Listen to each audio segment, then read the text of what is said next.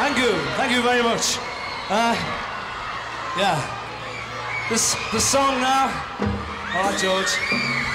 The song now is uh, is one which is a bit slower and a bit quieter. This is a song which is also on the album. You see, we're plugging this album. The song's called "Till It Was You."